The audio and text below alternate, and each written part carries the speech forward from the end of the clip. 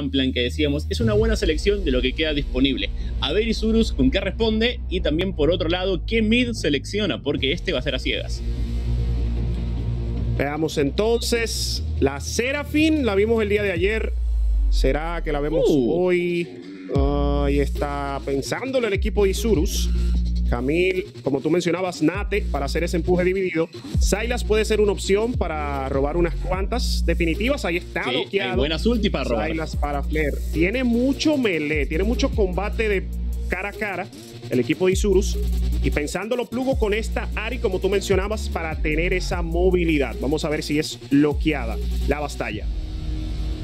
La verdad que el pick de Silas me gusta porque hay buenas definitivas para robar del otro lado. Por ejemplo, en 1 vs 1, tener la ulti de Camille ayuda un montón. La ulti de Hecarim también es de las mejores. Tratando de justamente atrasar la rotación, atrasar este patín. Está rotando todo Oh. el mundo. Quieren adueñarse. Muy buena sentencia de muerte, plugo. Se equivoca de barrio por igual. Estabilizar al equipo rival y a partir de ahí sacar asesinatos como ya lo hicieron. Claro, y entonces ahí ya no hay esa ventaja que hablábamos para el Ekarim. Ambos tienen los mismos objetos, no hay mucha, eh, no está muy tarde en cuanto a rotación. Mientras vemos la rotación justo, Jelly Cientos de oro que tenía aproximadamente. Y ahora sí va a poder pelearle el 1 vs 1 a Nate, a pesar de que él tiene Ignite. Cuidado acá, muy buen gancho.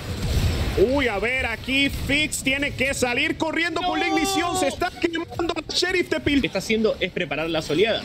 Y cuando Globan preparó bien las oleadas, ahí sí fue que pudieron agarrar a un Shelly mal posicionado, conseguir un asesinato y mientras tanto Frostrike estaba realizando el heraldo. Vean dónde está Graves. Graves estaba respondiendo la oleada que empujó Nate de antemano. Vamos a ver en el lado superior que tenemos una pequeña invasión de un caballo de las sombras. ADD, orgullo de Puebla, no sé de dónde. Es el que está sacando la diferencia. Y Frostrike ya tiene el objeto mimético. Él ya tiene la Trinidad y el otro lado, Follow, no tiene nada. Y esto es una diferencia de que Frostrike ya se adelantó a él. No, y me hace quedar horrible, Gonto. Se fue por el- la Trinidad en vez del Kimo. Está mintiendo el caster, dicen por ahí. Eh, lo siento, ¿verdad? Bueno, mala mía, ¿no? Pero es la versatilidad que está, pues, dándose la cara que vuelve Karim al meta. Algo que se estaba usando muchísimo con Udir en los 9.7 por ahí. Mientras toma el dragón justamente de montañas, tendremos voluntad oceánica. ADD se pone agresivo y la Camille va a confirmar el asesinato Empiezo a darle más atención a estos dragones porque en el momento que Loban saque el tercero va a ser siempre una carrera de ver ¿Puedo llegar a frenar el cuarto? Porque pierden una pelea y pueden perder dragón. Hablando de pelea, tenemos un combate en el lado superior. Está gastando Flair, la apariencia. ¡Sí, señor Bardito! Bardito que no tenía destello va a caer. Flair. Ah, dependiendo. Veamos Flair en el lado superior y en el lado inferior entonces Globan con tres. Nate, ya sabemos que está agresivo. Ignición, el ultimátum. Hashtag le va a sacar el... De que alguien pueda frenar a Nate. Creo, creo que no la hay. Uno versus uno. No, está complicadísimo, Gonto. Realmente. Y pues, Oh. mientras se un enfrentamiento, sentencia Gaboto que queda en un encantamiento de la Ari. Viene Fix llegando por igual en la cabalgata de las sombras. Nate es un destructor.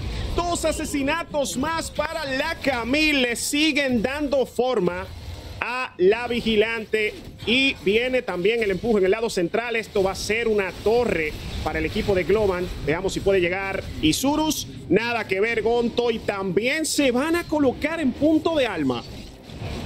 Plugo la rompió ahí, esperó justo en el arbusto indicado y hablábamos de que si alguien tiene que hacer el daño para Isurus es Gaboto. que- de tanqueo. Ahí vamos a gastar los recursos del río. Iniciado el dragón Jelly. Buscando la sentencia, no la consigue. ABD vino saludable de por allá. No sé qué habrá comprado por el barrio, pero necesitamos algo de eso. ABD 4000 de vida para este dragón Nate. Está haciendo por igual el flanqueo. Follow está muy bajo, está tomando mucho daño. El as bajó la manga, protegido por Jelly. El Zap, muchas habilidades para aislar. Veamos qué puede pasar por este cuadrante. Plugo que acaba de conectar el encantamiento. ADD se va a llevar otra vez el daño. 2000 de oro, qué tenso este momento, damas y caballeros. La atención, la atención. Cabalgata, se lo va a llevar Bardito el dragón. Almociánica para el equipo de Globan. Se arma la pelea. Ney, que es un dominador, va a caer por la parte superior. Chelly cae por igual. 3 por 2 hasta ahora. Caboto queda en una mala posición, tiene su destello. Viene en la persecución de Globan. Los ganchos dobles. Sido un problema, pero dije, como dijiste, no, ¿qué? Me intentaste agarrar, ahora vas a ver.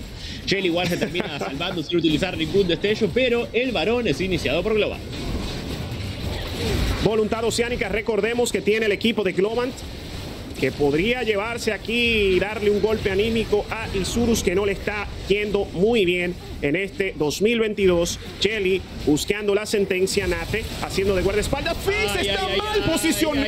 ay, Oh, Fizz estás en el, el click. Eh, nosotros nos vamos a llevar este pequeño, esta pequeña torre, esta pequeña bonificación y sentencia de muerte. Plugo tiene ay. mala posición, tiene que gastar la definitiva el cohete del Jinx a larga distancia directamente de este Sound.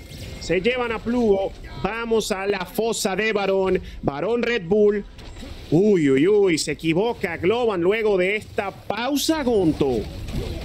Qué mala leche, porque justo Plugo termina utilizando el flash para salirse de la ulti de Jinx, pero obviamente la ulti de Jinx es AOE, le termina pegando a Bardito que venía atrás de él y con el ejecutar termina consiguiendo el daño para llevarse el asesinato. Y Zulus ahora intenta forzar el varón y hay una pelea.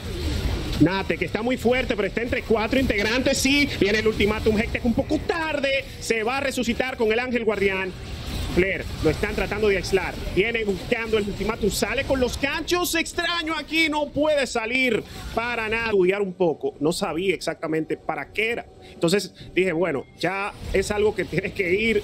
Porque Ekarin está entrando en meta. Inteligente Gabotos. Una lectura rápida de lo que es el meta en cuanto a itemización a el equipo de Isurus que van a tradear varón por el dragón ancestral que está en la grieta con recompensa. Recordemos, varón Red Bull queda alas y un poco más de oro. El dragón ancestral que podría ser muy peligroso con esta composición. Así que tradeo de objetivos, dragón ancestral para el equipo de Globant.